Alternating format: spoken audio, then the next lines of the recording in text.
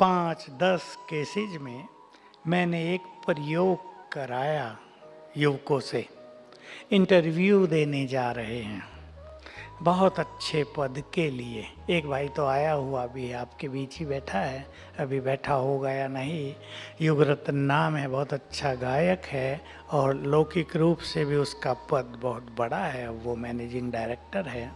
बहुत अच्छा गीत गाता है। जब वो इंटरव्यू देने जा रहा था तो मेरे से पूछा एमबीए किया था मेरे से पूछा, बहुत अच्छी पोस्ट है, मुझे ये चाहिए, क्या अभ्यास करूँ? मैंने उसे सिखाया कि भाई, सात दिन तक इंटरव्यू से पहले रोज सवेरे उठकर ये अभ्यास करना, मैं बहुत शक्तिशाली हूँ, सफलता मेरा जन्म सिद्ध अधिकार है, और एक संकल्प और जोड़ दिया जिन क्वेश्चंस का आंसर मुझे आता है, वही पूछेंगे। सहज है काम? जिन चीज़ों का उत्तर मुझे पता है, जो पैनल बैठा होगा, वही पूछेगा। पोस्ट बहुत बड़ी थी चीफ एग्जीक्यूटिव ऑफिसर एक कंपनी में। अब तो मैनेजिंग डायरेक्टर है। बैठे हैं क्या? युगरत्न यहाँ? आ जाएँगे, मुझे कल मिला कह रहा था, मैं आता हूँ। तो मैंने और जगह कराया, आपको क्लियर हो जाएगा। देखो, मन की शक्ति कितनी बड़ी है, वो मैं आपको बताना चाहता हूँ, आप उसे यूज़ कर सकते हैं। एग्ज़ाम देना है बच्चे को। एलएलएम का, एलएलबी एलएलबी के बाद दो साल का एलएलएम और होता है कानून में। तो मेरे को कहा, तैयारी तो नहीं है, पंद्रह दिन बचे हैं, क्या करूँ? मैंने उनको ये सिखाया, अभ्यास करो ये और संकल्प करना, जो क्वेश्चन मैं तैयार करूँगी वही आएँगे। और ये बहुत ही वंडरफुल अनुभव था कि हर पेपर में छह क्वेश्चन वही होते थे जो उसने तैयार किए। तो इस युग रतन की बात सुना दो, जब वो इंटरव्यू देने जा रहा था चीफ एग्जीक्यूटिव ऑफिसर की नौकरी के लिए। चार बैठे थे बुज़ुर्ग लोग। मैंने उसे कहा था एक बड़ा ऐसा बैज लगा के जाना, दूर से दिखाई दे। तो वो बड़ा एक बैज लगा के गया था। तो देखो, उसके जाते ही। और हाँ एक लास्ट थॉट मैंने और बता दिया था उसको। अभी से संकल्प कर लो। मेरा सिलेक्शन हो चुका है।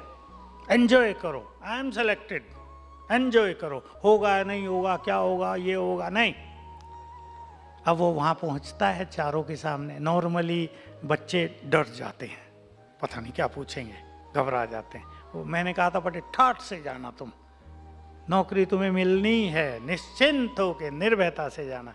उन्होंने बैज देखते ही क्या पूछा? बेटा, यूज़ किया बेटा। अब बच्चा बना लिया तो नौकरी तो मिलनी थी ना। बेटा, तुम मेडिटेशन करते हो क्या? यस सर अब इसका जो थोड़ा बहुत डर था, वो भी निकल गया। तो कहा, हमें भी कराओगे? उन्होंने कहा यस सर अब वो बैठ गए आँख बंद करके, पैर मोड़ के, और इसने हम लोग कमेंट्री देते हैं। इसने वो कमेंट्री देनी शुरू की। दस मिनट मेडिटेशन कराया। वो मगन बैठे हैं। इन्हें कहा, सर, पूरा हो गया। आँख नहीं खोल रहे पूरा हो गया, sir. Thank you very good अच्छा और भी कुछ जानते हो? हाँ साहब, मैं गीत बहुत अच्छा गाता हूँ। तो एक सुना दो। देखो इंटरव्यू हो रहा है बहुत बड़ी पोस्ट के लिए। हमारे यहाँ गीत बजता है साढ़े नौ बजे रोज रात को। हम उसे ट्रैफ़िक कंट्रोल के गीत गाते हैं। प्रेम से बस दो घड़ी प्रभु का ध्यान कीजिए। उसने उसी लय में वो गा दिया। वो फिर आँख बंद करके ध्यान मगन। तीन मिनट का गीत था, पूरा हुआ।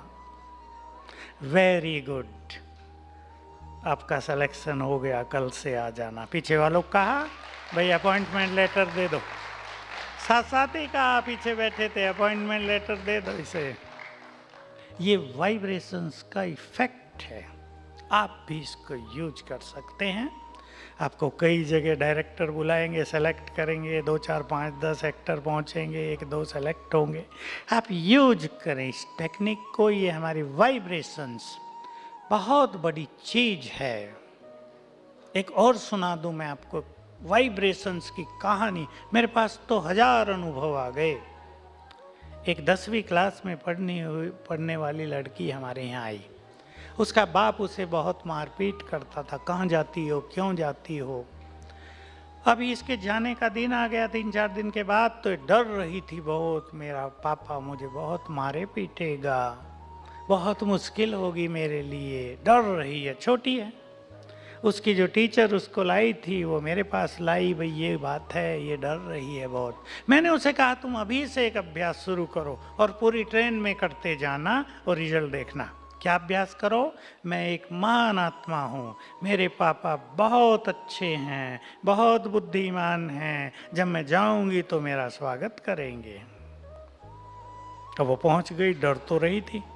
घर न जाके पहले हमारे सेंटर पे गई।